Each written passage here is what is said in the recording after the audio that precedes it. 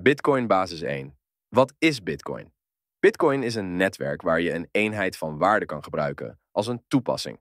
Dit gebeurt zonder een centraal controleorgaan. In het Bitcoin-netwerk kan waarde van en voor de mensen opgeslagen, verplaatst en bewaard worden.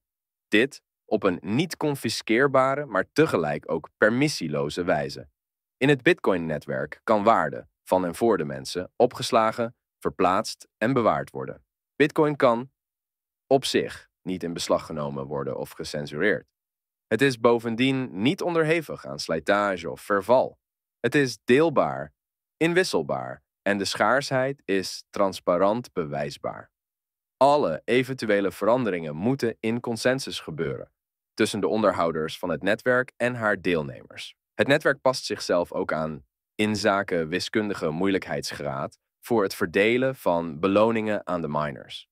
De beveiliging van het netwerk en het platform wordt gegarandeerd door encryptie en het geverifieerde werk van digitale getuigen en gebruikers die elkaar niet eens hoeven te vertrouwen.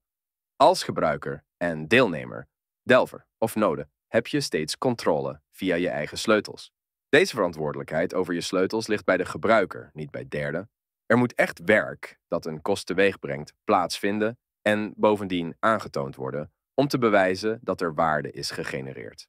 Met andere woorden, Bitcoin is een manier om geld in haar oorspronkelijke betekenis los te wrikken uit de wurggreep van centrale banken en staten. Bitcoin is de wiskundige garantie op permissieloze vrijheid van en voor de mensen.